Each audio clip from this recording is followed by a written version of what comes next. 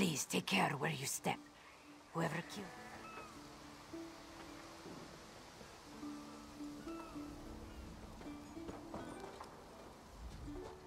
Please take care where you step.